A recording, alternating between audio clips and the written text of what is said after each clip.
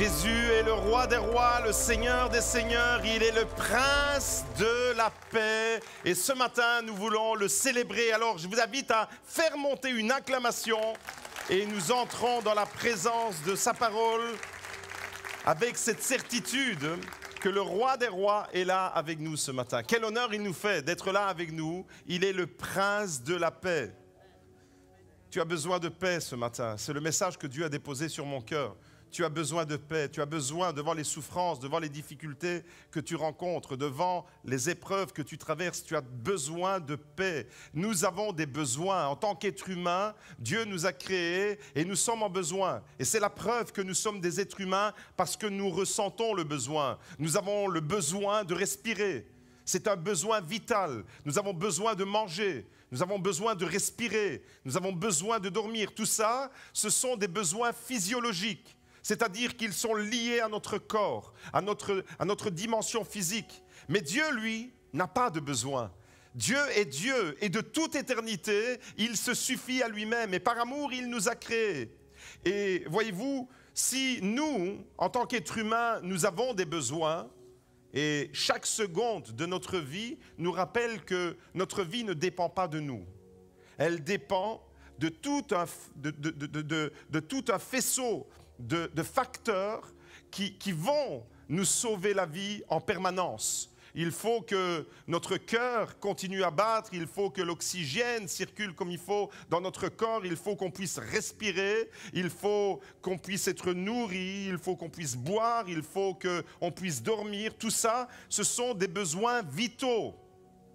Et ça nous rappelle tellement notre fragilité en tant qu'être humain. Nous sommes fragiles, nous sommes, euh, notre vie ne, ne tient qu'un fil par moment. Je voyais hier aux informations deux jeunes, je pense que c'est à New York, qui ont eu la vie sauve avec un appartement qui s'est embrasé et qui ont eu le réflexe de sortir par la fenêtre. Ils étaient à des dizaines de mètres. Il y avait, par la grâce de Dieu, une gouttière. Et ils ont pu s'accrocher à la gouttière et descendre Heureusement que c'était des jeunes et qu'ils ont eu la vie sauve. Vous voyez, des fois, notre vie, elle dépend vraiment de peu de choses et elle tient à un fil. Nous avons des besoins physiques, nous avons des besoins physiologiques, mais notre cœur, ce que la Bible appelle l'âme, eh bien notre cœur, ce que nous sommes à l'intérieur, ce que nous ressentons profondément dans nos émotions, lorsque nous sommes tristes, lorsque nous sommes joyeux, lorsque nous sommes dans la, satisfaction de la vie, lorsque nous sommes dans l'épreuve et que notre cœur est accablé, c'est ce que la Bible appelle l'âme. Eh bien l'âme aussi a ses besoins. Si notre corps physique a des besoins, notre âme, c'est-à-dire ce que nous sommes profondément, au plus profond de notre cœur, nous avons aussi des besoins. Et ce matin, eh bien, j'aimerais parler de ces besoins-là, les besoins de ton âme, les besoins de ton cœur.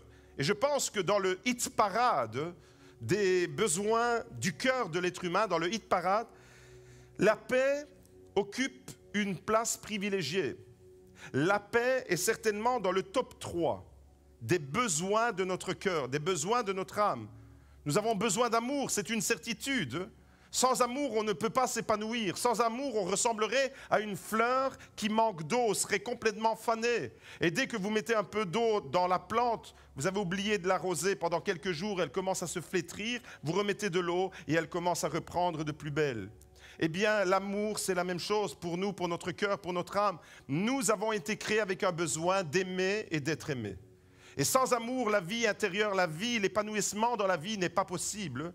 L'amour est certainement le besoin le plus important. Et dans le top 3, je disais que la paix, elle occupe une place prépondérante. Nous avons également besoin de sécurité, nous avons besoin de nous sentir en sécurité, nous avons besoin d'être en acceptation et nous avons besoin de paix intérieure. Dans le top 3, dans le hit parade, numéro 1, nous avons besoin de l'amour, numéro 2, nous avons besoin de la sécurité et numéro 3, nous avons besoin de la paix intérieure. Et voyez-vous, le message de Noël, c'est extraordinaire parce qu'il nous est donné un prince de paix. Jésus, le prince de paix. Et c'est cette paix, en réalité, c'est ce qui va apporter de l'équilibre et de la stabilité à notre existence. Quand on est en paix intérieure avec soi-même, quand on a la paix à l'intérieur, ça, ça, met notre vie en équilibre, ça stabilise notre existence. Mais quand on manque de paix, notre vie est complètement agitée. Et nous sommes dans l'ascenseur émotionnel, nous sommes dans le yo-yo, nous sommes dans le découragement, nous sommes dans la peine et notre vie, elle est comme sur un lac agité une mer déchaînée et nous sommes ballottés dans les épreuves et dans les difficultés.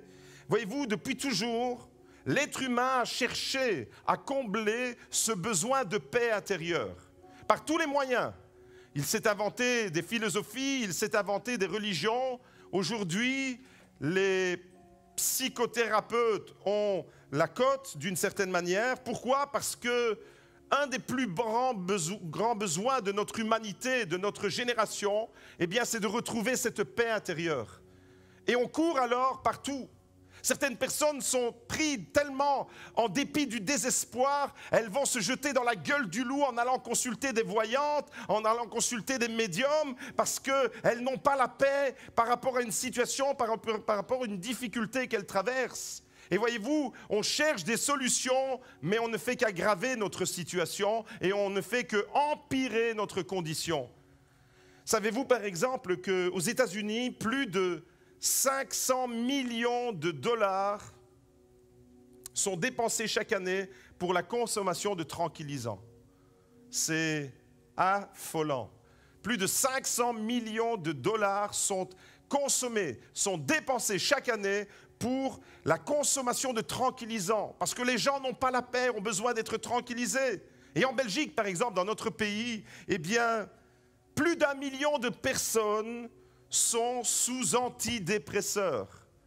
Ça veut dire que un dixième de la population est sous antidépresseurs. Besoin de retrouver un équilibre psychologique intérieur.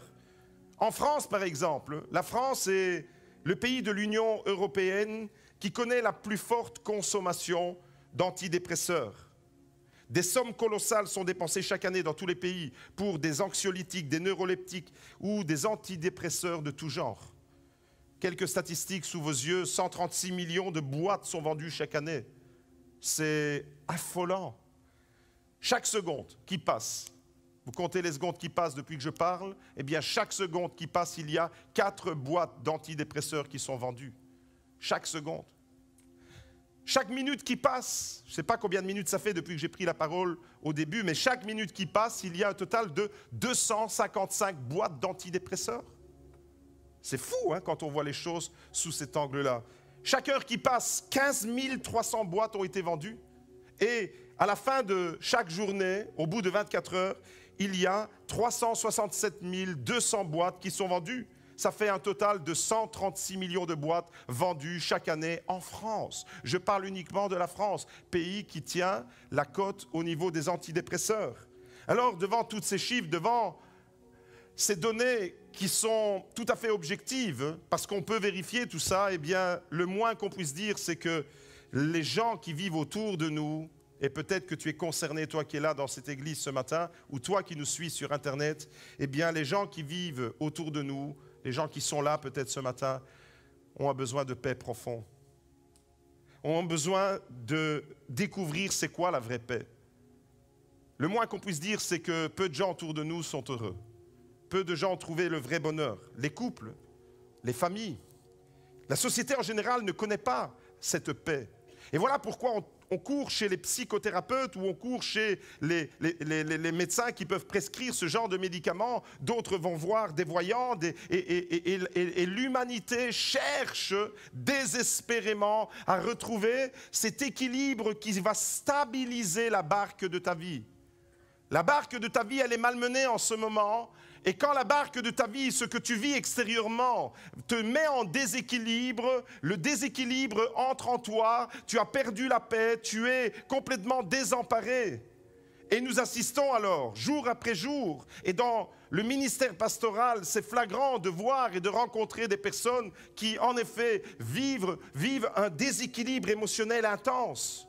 Émotionnellement, tu es affecté, émotionnellement, tu es touché, émotionnellement, la vie a eu un impact qui t'a dégradé, qui peut-être que tu es en souffrance parce que tu es touché par une maladie. Et ce que tu ressens dans ton corps, ce n'est pas seulement ton corps qui souffre, c'est ton âme. Quand le corps est malade, l'âme souffre. Et voilà comment on peut être dans ce déséquilibre. Nous vivons des temps, tout particulièrement en cette période depuis deux ans, des temps qui génèrent de l'anxiété. Nous vivons dans le siècle de l'anxiété, si je puis dire, accentué par la crise sanitaire, Covid-19, pandémie, restrictions sanitaires de tout genre, enfin bref, nous vivons dans une société, une société qui est anxiogène, c'est-à-dire qui génère de l'anxiété, de l'angoisse en permanence. Et par exemple, quelques mois en arrière, on nous disait pas de masque. Après, on nous a dit tous avec des masques, seulement pour les adultes. Il y a quelques semaines, on nous a dit les masques pour les enfants à partir de 10 ans. Avant, on nous disait c'est pas bon que les enfants portent des masques. Et maintenant, tout récemment, on nous dit le masque pour les enfants à partir de 6 ans. Et bientôt, on va aller dans les maternités, on va regarder comment le bébé vient au monde. On lui dit T'as pas le masque, retourne d'où tu viens. On va bientôt imposer le masque aux bébés qui viennent de naître.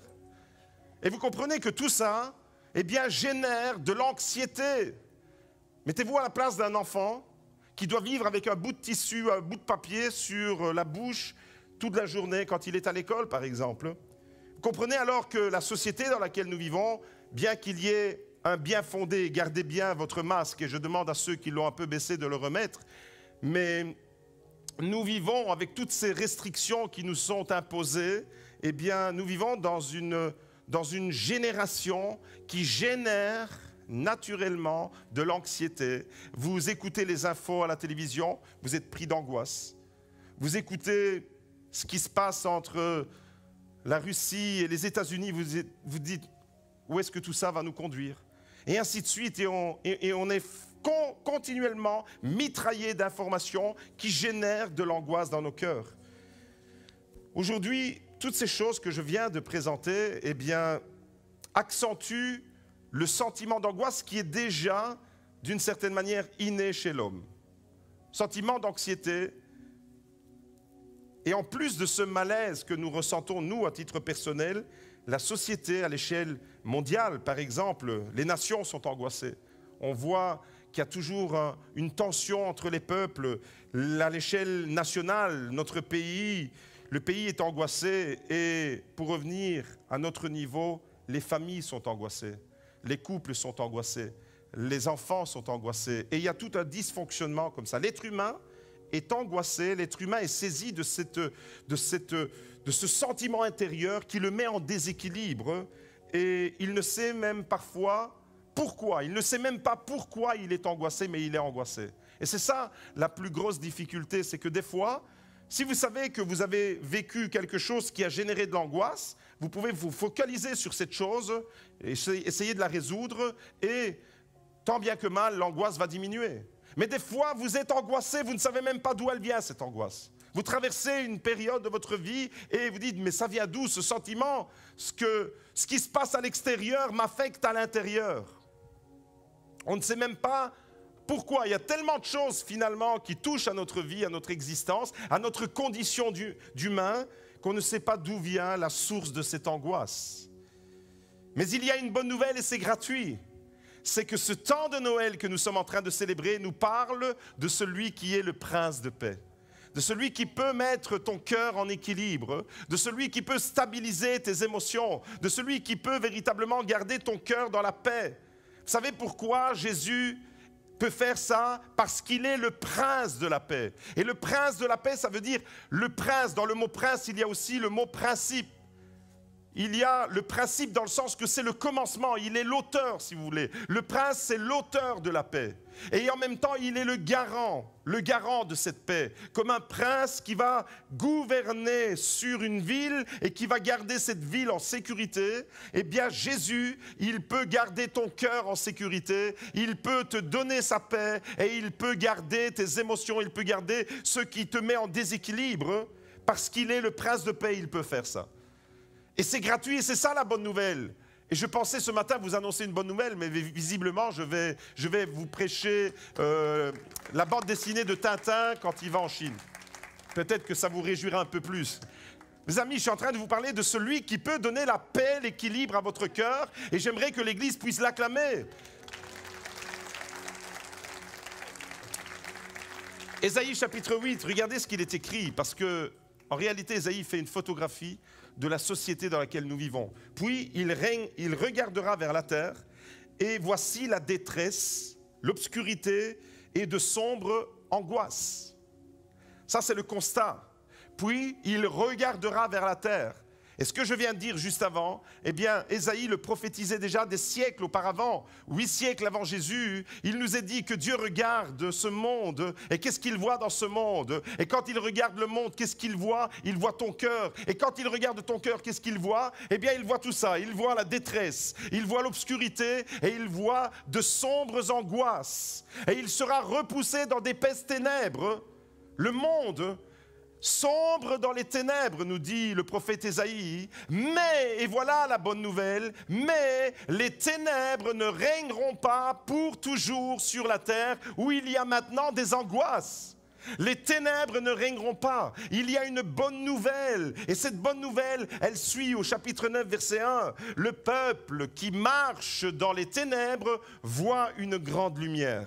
Le peuple qui traverse, vous avez compris que les ténèbres ici, ça nous parle de l'angoisse, de euh, cette sombre obscurité qui plonge l'humanité dans le désespoir.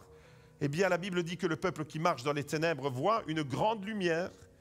Sur ceux qui habitent le pays de l'ombre de la mort, une lumière resplendit.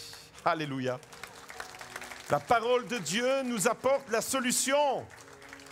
Pas besoin de psychotropes, pas besoin de dévaliser les pharmacies en calmant, antidépresseurs ou euh, somnifères parce que tu n'arrives pas à trouver le sommeil. Tu es en train de dévaliser ta pharmacie qui habite juste à côté de chez toi et tu vas chercher des boîtes et des boîtes et des boîtes, mais tu n'as quand même pas la paix.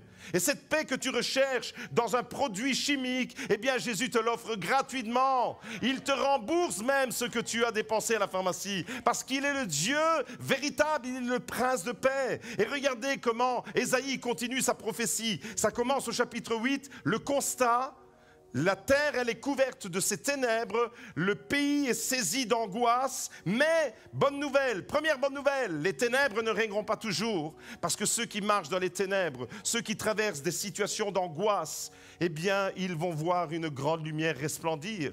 Et au, chapitre 9, verset 5, alors, Ésaïe continue dans cette prophétie extraordinaire, et il nous annonce alors qui est le prince de la paix, car un enfant nous est né, un fils nous est donné, et la souveraineté reposera sur son épaule. On l'appellera admirable. Dites avec moi, admirable, conseiller, Dieu puissant, Père éternel, prince de la paix. Alléluia. Voilà celui que Ésaïe annonce des siècles auparavant qui viendra éclairer les ténèbres. Le prophète Ésaïe a une vision spirituelle de la terre dans laquelle nous vivons. Et j'ai l'impression, quand je lis le prophète Ésaïe, je me dis, mais j'ai l'impression qu'il voit qu'il est en train de décrire ce que nous sommes en train de traverser. Les personnes qui sont autour de nous, des ténèbres, d'obscurité, d'angoisse qui règnent.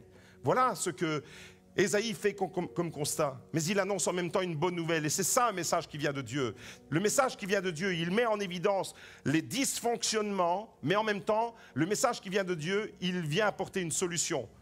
Un message qui ne vient pas de Dieu, une fausse prophétie, c'est un message qui te condamne, qui ne fait que mettre en évidence ce qui ne va pas, mais qui ne te propose pas une solution, une voie d'issue, de réparation. Mais le prophète Isaïe, parce qu'il est inspiré de Dieu, il fait le constat, et le constat, il doit être vrai. Et ce matin, j'aimerais vraiment que la parole du prophète Isaïe puisse retentir dans ton cœur ce matin. Et que le prince de paix puisse faire son siège dans ton cœur et dans ta vie. Dans ce monde d'angoisse et d'anxiété, de crainte et de peur, Ésaïe annonce la venue du prince de paix. C'est extraordinaire. Et pour parler de la paix, la Bible utilise un terme particulier, c'est le mot shalom en hébreu. Le mot shalom signifie littéralement être complet, être entier, être heureux, intact. La, la racine du mot shalom, c'est être paisible, vivre dans l'harmonie, ça a même la notion de quelque chose qui est payé. Il y a quelqu'un qui a payé pour toi pour que tu sois heureux. Par exemple, quand on va en Israël et qu'on doit acheter quelque chose et qu'on doit payer quelque chose, le verbe payer en hébreu, même en hébreu moderne, se dit meshalem. Et en fait, euh, on, est en train de payer. Eh bien, le shalom, c'est parce que quelqu'un a payé. Il te donne le shalom parce que lui a payé pour toi. Et ce mot extraordinaire englobe la, notion de plénitude, de complétude. Tu es complet, tu es entier, tu es heureux, tu es intact, tu es paisible, tu peux vivre dans l'harmonie. Voilà ce que contient le mot shalom. Rien qu'un mot, il a toutes ses nuances et toutes ses variétés. Et il n'y a que Jésus alors qui peut nous offrir toutes ces choses. Il est le seul dans ce monde tellement agité, tellement angoissé, où on voit des familles qui se déchirent, où on voit des nations, on voit des, frères et des sœurs qui se font la guerre, et jusque dans le peuple de Dieu. Combien c'est malheureux de découvrir tout ça alors que Jésus, c'est le prince de la paix, alors que Jésus veut nous conduire sur un chemin de paix et il est le seul qui peut nous le garantir. Pourquoi? Parce qu'il est le prince, c'est-à-dire qu'il est l'auteur et en même temps il est le garant. Il est l'auteur, celui qui va te donner la paix, et en même temps, il est celui qui va te permettre de préserver cette paix. Alors, je ne sais pas par quoi tu es attaqué en ce moment. Je ne sais pas quelles sont les situations que tu traverses personnellement, à titre personnel ou familial. Mais je sais une chose, c'est que tu subis des pressions autour de toi qui voudraient enlever cette paix que Dieu te donne. Et ce matin alors, eh bien, il sera question de cette paix, de cette plénitude. Et ce que Jésus nous offre alors est tout simplement extraordinaire. Et la personne qui ne vit pas avec cette paix-là, elle ne peut pas comprendre. Je vous assure que pour comprendre la richesse de cette paix, il faut le vivre pour le croire. Parce que ce n'est pas un discours que vous entendez. Ce matin, c'est une, méthode pour, pour entrer dans cette paix, mais d'une certaine façon, la méthode, c'est Jésus qui l'a accomplie. Il est le prince de paix. Et quand il vient au monde, alors tout, tout, tout, toute la vie de Jésus, depuis la crèche de Bethléem jusqu'à Golgotha, tout nous parle de la paix. Jésus nous communique la paix depuis la naissance à Bethléem jusque ce moment où il va mourir sur la croix pour toi et pour moi. Toutes les étapes de sa vie, depuis la naissance jusqu'à sa mort, en passant par son ministère de puissance, tout nous parle et nous communique la paix. Et je crois ce matin eh bien que dans le hit parade de tes besoins, si tu devais faire une liste de trois choses, dont tu as le plus besoin, je suis convaincu que la paix, elle occupe une de ces trois places. Et ce que Jésus nous offre est tout à fait extraordinaire. Chacune des étapes, depuis la naissance jusqu'à la mort, nous, offre quelque chose d'extraordinaire et on va redécouvrir quelques textes fabuleux. Quand il vient au monde comme un bébé, et Noël c'est ça, c'est de nous réjouir qu'il vient là dans une crèche, dans une étable, eh bien, dans cette crèche de Bethléem, le prophète Ésaïe nous annonce déjà qu'il est le prince de la paix. Ça, c'est à la naissance. Ça, c'est à Noël. Ensuite, quand il meurt sur la croix, toujours le même prophète Ésaïe nous annonce et nous dit que par sa mort, nous avons la paix. La naissance de Jésus nous procure la paix. La mort de Jésus nous procure la paix. Et dans son ministère, c'est-à-dire pendant ces trois ans extraordinaires, trois ans bouleversés la face du monde, trois ans seulement, une longue préparation, 30 ans, 30 ans dans l'ombre, 30 ans où Jésus a été formé à Nazareth, on ne parle pas de lui dans les évangiles, sauf dans l'évangile de Luc, chapitre 2, où on, dit qu'à 12 ans, il est allé à Jérusalem avec ses parents. Mais sinon, on parle de sa naissance et puis on le retrouve à 30 ans quand il rentre dans son ministère de puissance. Et pendant ces trois, trois ans-là, il va bouleverser l'histoire de l'humanité. On est 2021 ans plus tard et on parle encore de lui. Et des églises sont rassemblées pour le célébrer, pour le servir et pour l'adorer. Trois ans ont bouleversé l'histoire du monde. Et pendant ces trois ans-là, vous savez ce qu'il a fait? Pendant ces trois ans-là, il a remis en équilibre le déséquilibre intérieur des gens qu'il rencontrait. Il est, tombé pendant ces trois ans devant des personnes qui étaient en souffrance. Il les a guéris. Mais parce qu'il les a guéris, il a remis de l'équilibre dans la vie de ces gens. Il a accompli quelque chose de merveilleux.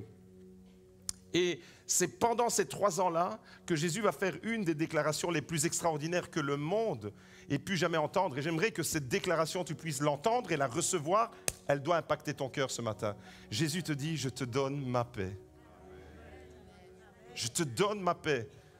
Dans la tourmente que tu es en train de vivre en ce moment, dans l'épreuve qui t'accable, dans la douleur de ton âme, dans le secret de ta chambre quand tu pleures, quand tu es confronté à un diagnostic médical, celui que tu redoutes, Jésus te donne sa paix, alléluia. C'est quelque chose de puissant ça.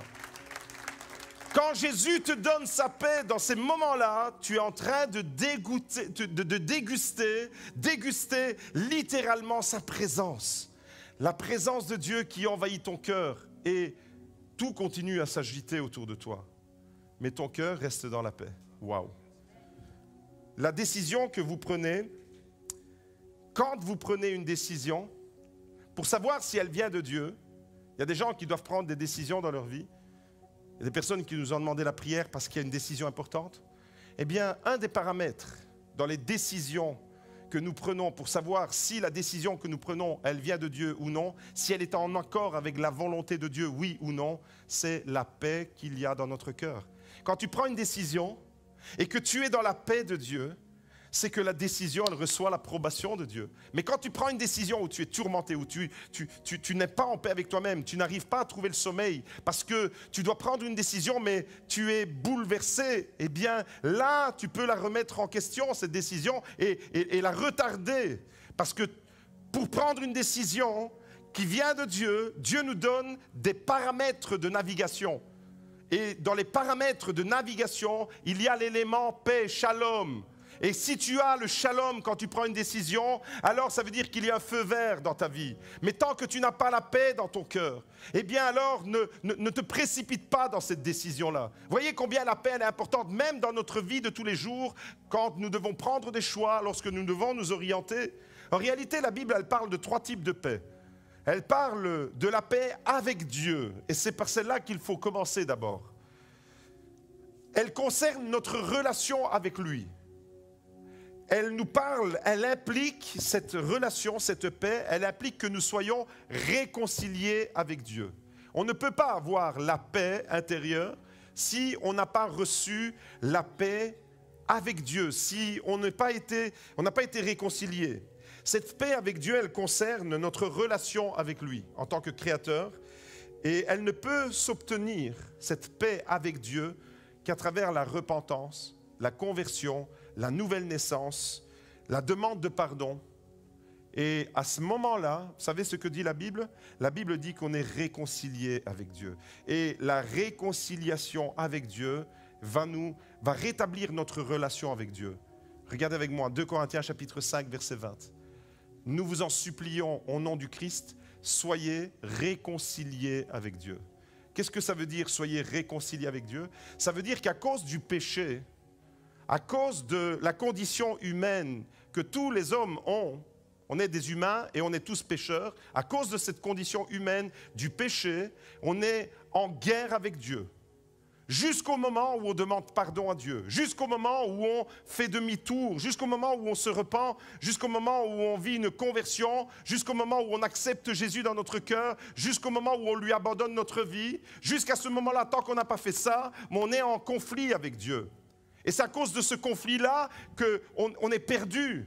Tous ont péché et sont privés de la gloire de Dieu. Mais la bonne nouvelle, c'est qu'on peut être réconcilié avec Dieu. Et quand on est réconcilié avec Dieu, on a fait la paix avec Dieu. Waouh!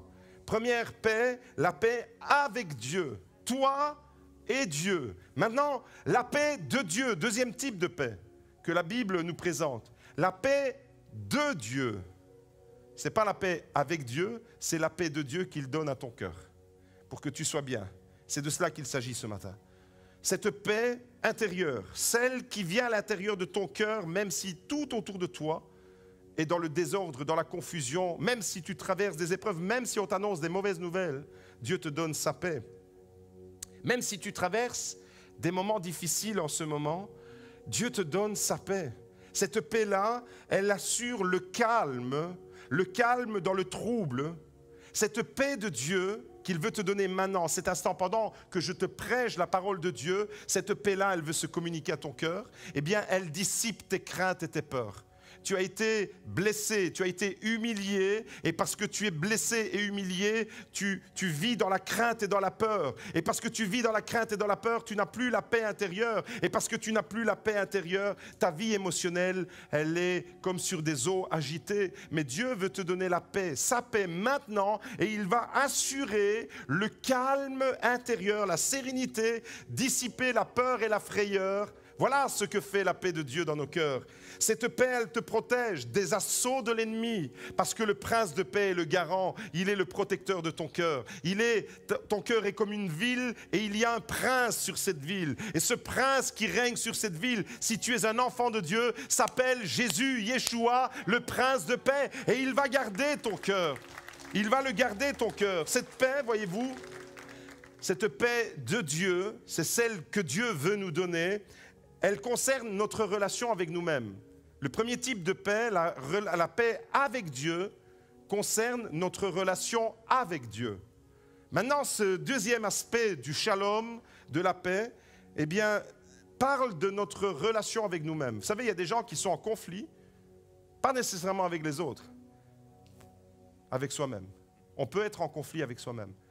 Et parce que tu n'es pas en paix avec toi-même, avec tes choix de vie, avec tes décisions, avec ce que tu vis intérieurement, eh bien, tu es en conflit et tu es agité. Eh bien, cette paix que Dieu veut te donner, c'est cette paix-là qui va mettre de l'équilibre, de la stabilité. Et comment elle s'obtient? La première paix, la paix avec Dieu, elle s'obtient par la demande de pardon, la conversion, la repentance. Maintenant, cette paix de Dieu, elle s'obtient et elle s'entretient en plaçant notre confiance en Dieu.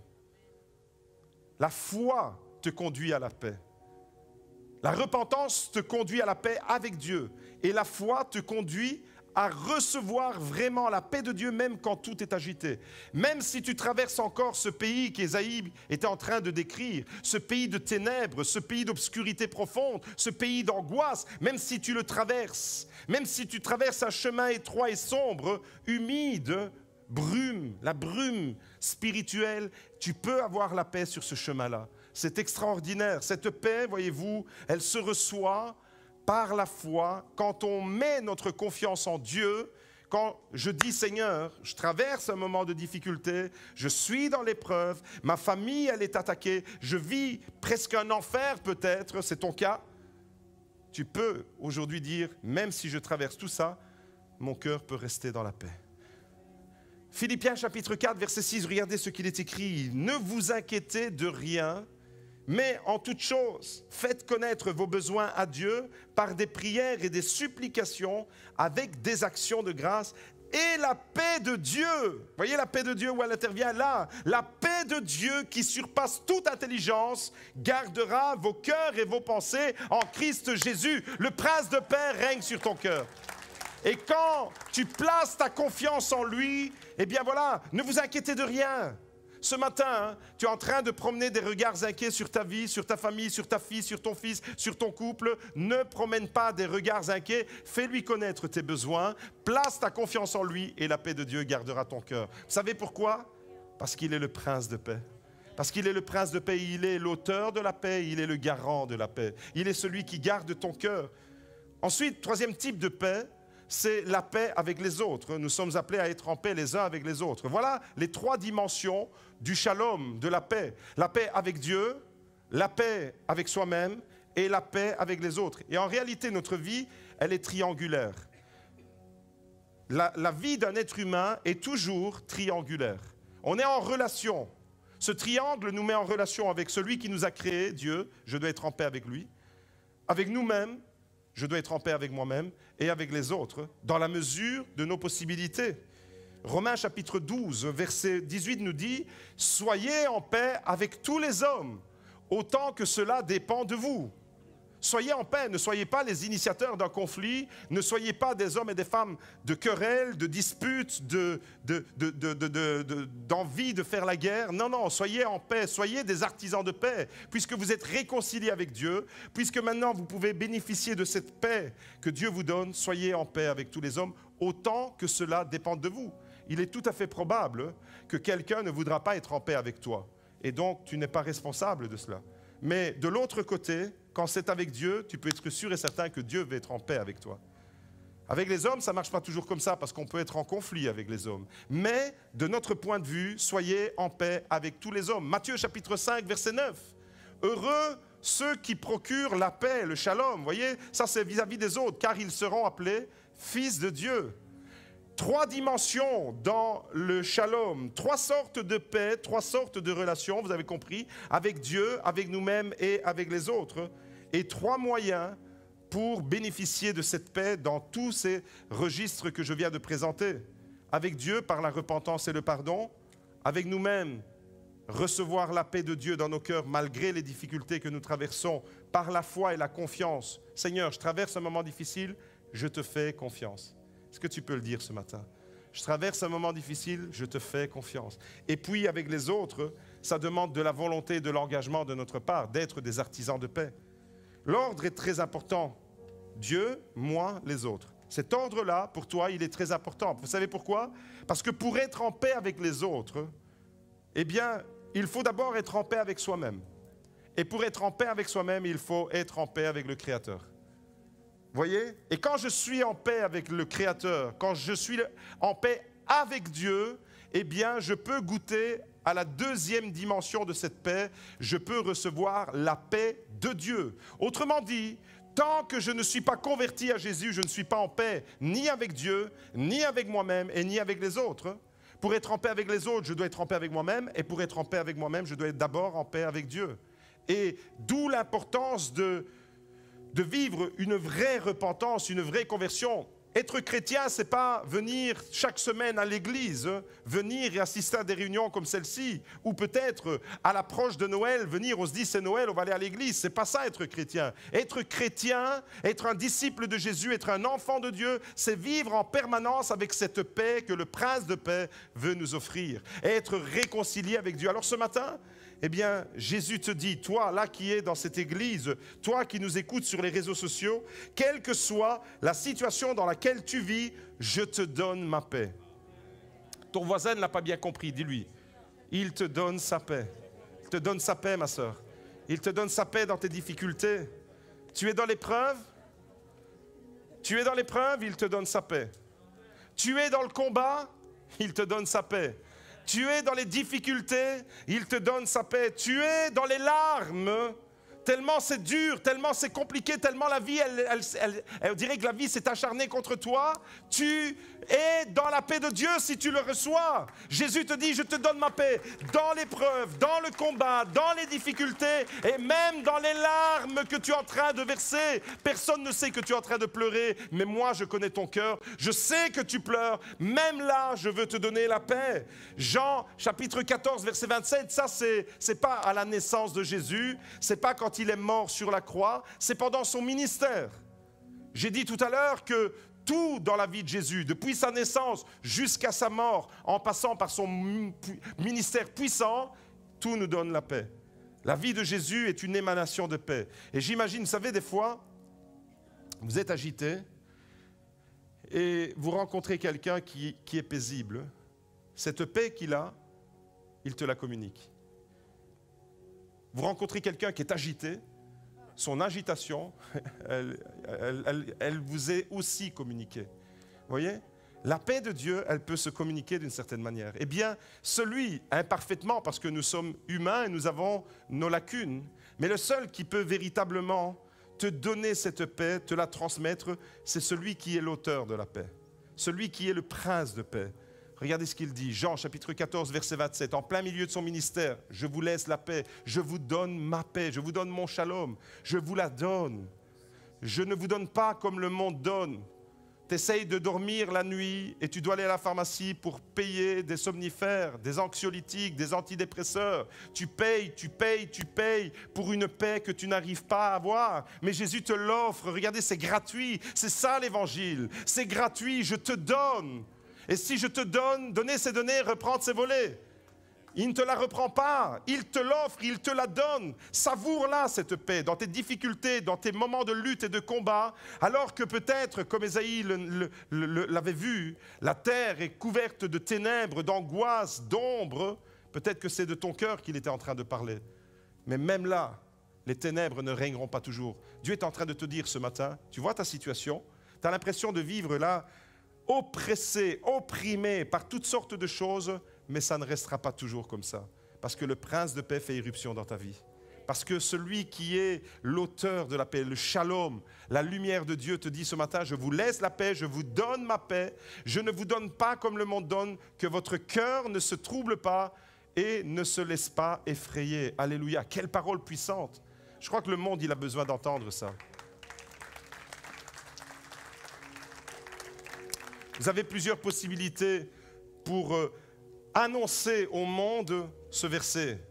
En rentrant directement à la fin du culte, vous pouvez partager ce culte sur les réseaux sociaux et plusieurs personnes de vos contacts vont recevoir cette parole, mais vous pouvez aussi avec votre bouche dire, Jésus a dit, Jean chapitre 14, verset 27, je te donne la paix. Je ne sais pas pourquoi je dois te dire ça, mais j'aimerais te dire, et Dieu va mettre des gens sur votre chemin. Et c'est ça être en relation avec Dieu. C'est être sensible aux besoins des gens. Et Dieu me pousse à te dire, je te donne ma paix. Et là, tu vas voir une personne devant toi qui va peut-être s'écrouler, s'effondrer dans les larmes parce que c'était exactement ce qu'elle avait besoin d'entendre. La paix de Dieu au hit parade des besoins. Est-ce que vous avez remarqué que c'est un cadeau? Est-ce que vous avez remarqué depuis le début que c'est gratuit? Est-ce que vous avez remarqué qu'on ne doit rien faire? Vous savez, la paix de Dieu est tout simplement extraordinaire. Pourquoi elle est extraordinaire? Premièrement parce qu'elle apaise nos cœurs, même quand tout est agité, elle apaise nos cœurs. Et je sais que plusieurs parmi vous sont en train de traverser des moments troubles, mais dans ces moments troubles, dans ces eaux troubles que tu traverses, la paix de Dieu est dans ton cœur. La paix de Dieu, elle est extraordinaire parce qu'elle elle apporte la guérison sur tes blessures. Tu as été blessé, tu as été humilié, tu as été dégradé, mais la paix de Dieu, elle t'apporte la guérison. Elle apaise ton cœur, mais en même temps, elle apporte la guérison de ton âme. Elle devient une force intérieure, la paix. Le shalom devient une force, une énergie. Quand tu es dans la paix de Dieu, quand ton cœur est envahi de paix, tu es fort. Tu es, tu es rempli de cette énergie divine. Pourquoi? Parce que le contraire de la paix, être dans la tourmente, te déforce, te vide, te dépouille. Mais la paix de Dieu, c'est comme si Dieu recharge tes batteries. Et ce matin, eh bien, tu peux recevoir ce merveilleux cadeau où tu peux réapproprier les vérités de ce message. Même si tu es chrétien de longue date, tu peux vivre pleinement à la hauteur de ce merveilleux cadeau que le Seigneur nous fait en cette période de Noël. J'aimerais vous dire, est-ce que vous avez remarqué que c'est un cadeau?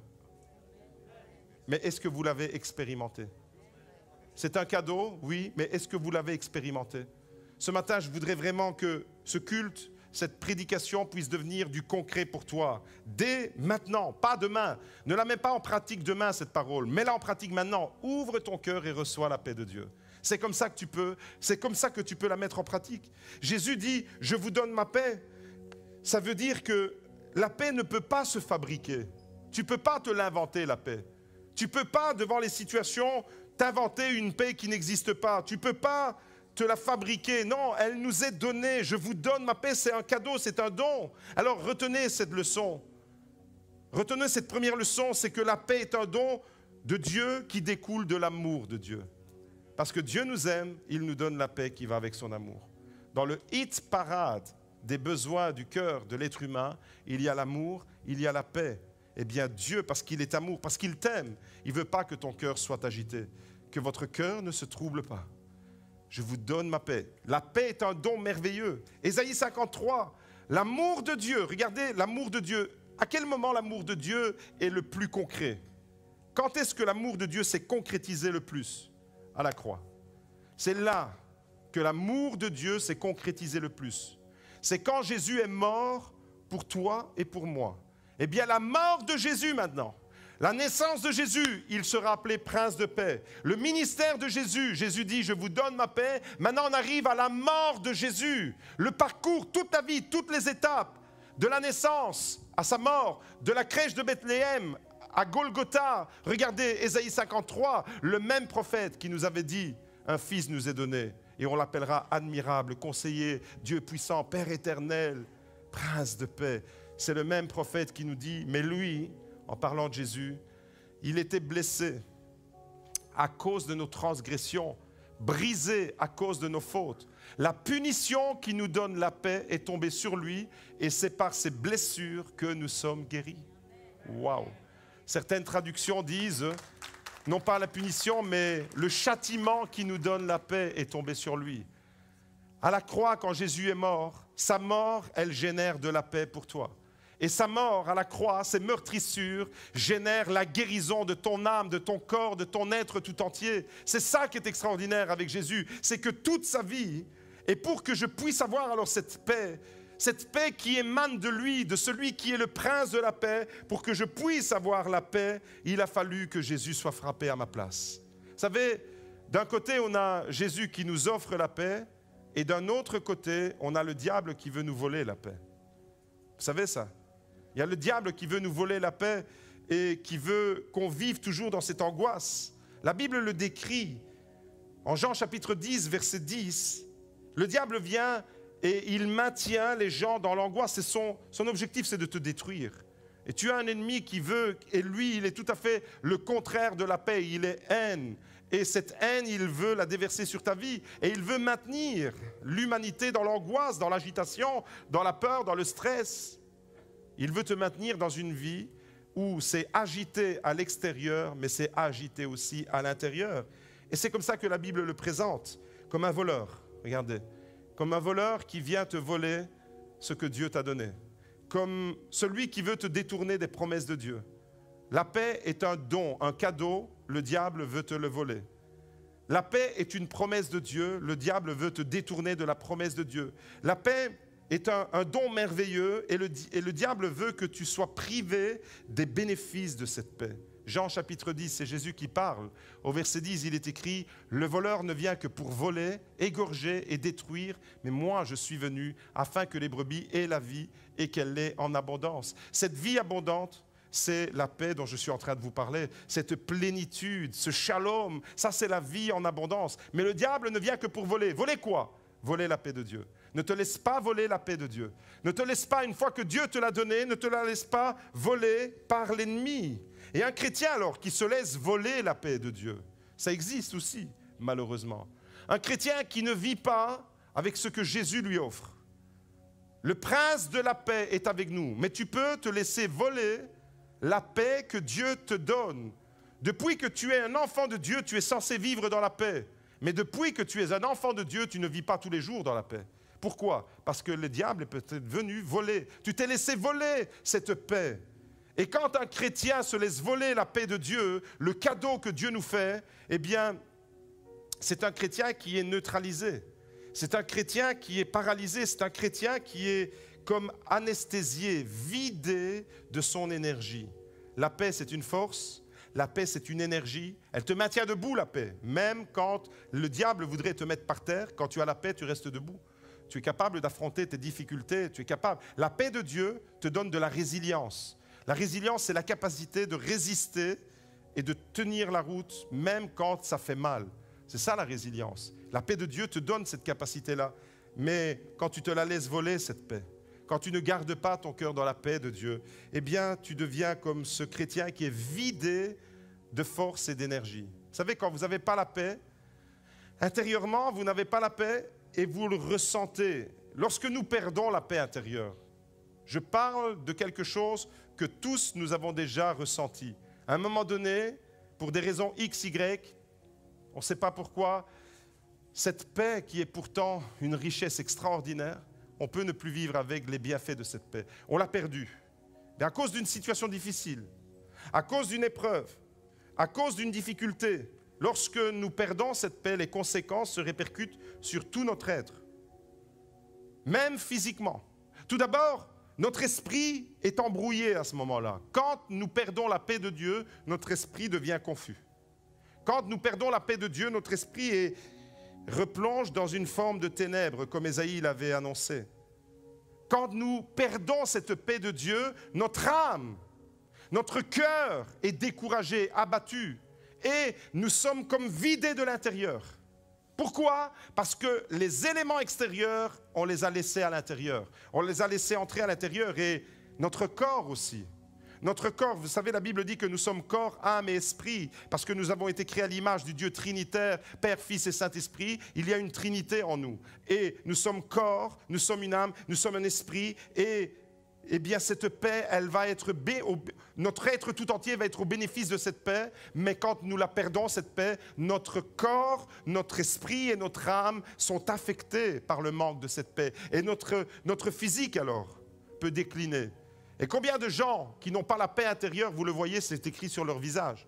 Pourtant, leur visage, ce n'est pas leur âme, mais les yeux sont le reflet de l'âme. Les yeux sont le miroir de l'âme. Vous voyez une personne avec le visage décomposé et qui, qui n'a plus de force, qui n'a plus d'énergie. Vous savez ce qui se passe dans son cœur. Vous savez pourquoi? Parce que ses yeux, c'est la vitrine de sa personnalité. Notre corps est lié à notre âme et à notre esprit. Quand Dieu nous donne la paix, ça se répercute sur l'esprit, sur l'âme et sur le corps. Mais quand le diable vient nous la voler, ça se répercute aussi sur notre corps, sur notre esprit et sur notre âme. Et alors à ce moment-là, le chrétien qui se laisse voler la paix de Dieu commence à vivre en léthargie, commence à vivre et à revivre avec des angoisses. Voilà pourquoi on peut être un enfant de Dieu, voilà pourquoi on peut être un chrétien même de longue date. Tu as donné ta vie à Jésus il y a longtemps et pourtant ton cœur aujourd'hui il est angoissé. Pourquoi? Parce que tu t'es laissé voler la paix de Dieu. Et tu replonges alors dans la peur dans le découragement, dans le manque de paix, tu te sens vidé de l'intérieur et tu es privé de cette énergie extraordinaire, l'amour de Dieu, la paix de Dieu, le sentiment d'être en sécurité à cause d'une épreuve, à cause d'une difficulté, d'une déception, on peut la perdre, cette paix. Et le diable ne vient que pour voler, dit Jésus. Mais bonne nouvelle. Bonne nouvelle, ce matin au milieu de nous, il y a celui qui s'appelle le prince de la paix. Bonne nouvelle, ce matin, il peut maintenir ton cœur dans la paix, même au milieu de la tourmente, même au milieu des épreuves, même au milieu de la tempête.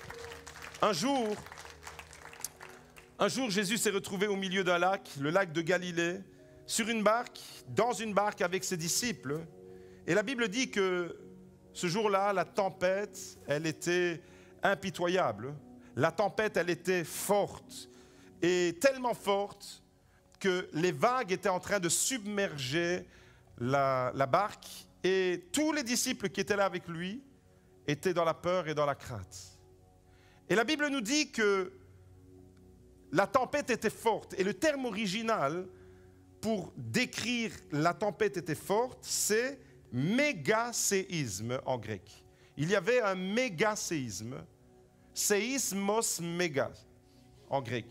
Qu'est-ce que vous entendez dans séisme, c'est que notre vie, elle peut, elle peut traverser des séismes. Et là, ce jour-là, la tempête, c'est un séisme. Tu as, tu as été touché par un séisme psychologique peut-être. Tu as été touché par un séisme qui a affecté ton cœur, ton âme, ton esprit, ton être tout entier. Tu as subi des choses qui ont été un véritable séisme. Tu as été abîmé. Ton corps, ton âme, ton esprit ont été abîmés. Et tu t'es retrouvé dans une tempête. Et Jésus était là avec les disciples, et on lit ça dans Matthieu chapitre 8, verset 23. Regardez ce qu'il est écrit. Il monta dans la barque, et ses disciples le suivirent. Alors il se leva sur la mer une si forte tempête que la barque était couverte par les vagues, et lui, il dormait. Il était dans la paix. Les disciples s'approchèrent de lui et le réveillèrent en disant, Seigneur, sauve-nous, nous périssons. Voilà le sentiment qu'on a. Le gars peut venir me rejoindre, merci. Voilà le sentiment qu'on a quand on est dans le mégaséisme, on a l'impression de périr et on a l'impression que Jésus dort. Qu'est-ce que ça veut dire? On ne le dit pas comme ça. On est trop pieux pour dire Seigneur, tu t'es endormi ou quoi? Parce qu'on on, fait attention à notre langage religieux. Alors on n'oserait pas dire Seigneur, tu t'es endormi. Mais c'est ce qu'on pense. C'est qu'on est dans le mégaséisme, c'est-à-dire qu'on est dans une tempête qui fait rage, on, a, l'impression que tout va se déglinguer dans notre vie et on a l'impression que Jésus ne fait rien. Et on a l'impression qu'il dort. Et on a envie de lui dire, mais tu dors ou quoi? Réveille-toi. Lui, il est dans la paix. Les disciples nous ressemblent, sont agités, sont dans l'angoisse, sont dans l'anxiété. Ils n'ont pas cette paix. Alors qu'ils sont là au cœur de ce que la Bible appelle un mégaséisme je parle à quelqu'un ce matin qui traverse un méga séisme. Je parle à quelqu'un qui a l'impression que les vagues de la vie sont en train de le submerger. Je parle à quelqu'un qui a l'impression que la barque de sa vie, elle est ébranlée. Et regardez alors, eux, les disciples s'approchèrent de lui et le réveillèrent en disant, Seigneur, sauve-nous, nous périssons. Il leur dit, pourquoi avez-vous peur, gens de peu de foi? Alors il se leva, menaça les vents et la mer, et un grand calme, une grande paix se fit. Waouh Plein d'admiration, ces hommes se disaient, quel est celui-ci? Car même les vents et la mer lui obéissent. Et des fois, voyez-vous, notre vie ressemble à ça. Des fois, on est sur cette mer agitée de la vie. Un mégaséisme nous a touchés. Ça peut être euh, différentes choses. Notre enfant tombe malade, c'est un mégaséisme. Tu as été abusé, tu as été violenté, c'est un mégaséisme. On t'a abîmé, c'est un mégaséisme. Et le diable voudrait te maintenir dans ce découragement, dans cette défaite, dans des pensées qui te ramènent toujours à ce traumatisme. Mais Jésus te dit aujourd'hui, là, sur la mer qui est agitée, je suis dans la barque et je peux te donner ma paix, je peux te donner mon shalom. Tu peux vivre autrement, tu peux ne pas laisser ton cœur être angoissé agité. Alors ce matin, Jésus est là, prince de paix, imperturbable, paisible, alors que toi, tu es en train de t'agiter, alors que toi, tu es plein de découragement. Ce matin, j'aimerais vous dire que Jésus est en train de vous parler. Et Jésus est avec toi pour stabiliser ta barque. Et je voudrais faire un appel ce matin, simplement, ceux qui aimeraient vraiment, dans la barque de leur vie, votre barque, elle est ballottée à gauche, à droite, vous traversez des méga-séismes, qui a besoin ce matin que sa barque soit stabilisée? Je parle de la barque de l'intérieur de ton cœur. Eh bien, levez-vous là où vous êtes. Jésus veut calmer les vents les vents qui soufflent contre ta vie, les vents qui amènent les vagues de destruction sur ta vie, les vents qui veulent te décourager. Il veut menacer le vent et les vagues qui vont t'engloutir. Il veut menacer la vague qui veut te submerger ce matin. Et si tu es là, debout, ce matin, eh bien Jésus veut te donner sa paix aujourd'hui, là, au milieu de ta tempête, tout simplement parce qu'il est le prince de paix. Tout simplement parce qu'il est ce Dieu merveilleux. La profondeur de cette paix qu'on peut ressentir même dans la difficulté dépend de notre degré de confiance qu'on a en Dieu. Dans la difficulté, la profondeur de la paix que tu peux recevoir ce matin va dépendre du degré de confiance la confiance que tu places en lui, la foi, va t'amener dans cette paix. Ésaïe 25, regardez ce qu'il est écrit, 26, verset 3. À celui qui est ferme dans son intention, tu assures une paix profonde parce qu'il se confie en toi parce qu'il se confie en toi. Je veux voir les mains de tous ceux qui se confient dans le prince de la paix ce matin. Eh bien, ceux qui lèvent leurs mains ce matin, il veut vous donner une paix profonde. Alléluia. Merci Seigneur, parce que ce matin, tu es ce prince de paix. Tu bénis mes frères et mes sœurs. Toi, le prince de paix. Toi, Seigneur, ce merveilleux cadeau de Noël, c'est ta présence dans nos vies, dans nos barques agitées, Seigneur. C'est toi qui viens faire la différence. Que ton nom soit béni, que ton nom soit glorifié. Viens calmer tempêtes de nos vies. Viens donner de la stabilité à la barque de ma vie. Viens, Seigneur, me donner ton shalom. Fais cette prière avec moi, mon frère, ma soeur, là où tu es. Dis-lui, Seigneur, donne-moi ton shalom ce matin. Je le veux, je veux cette paix intérieure. Alléluia, que le peuple de Dieu soit béni.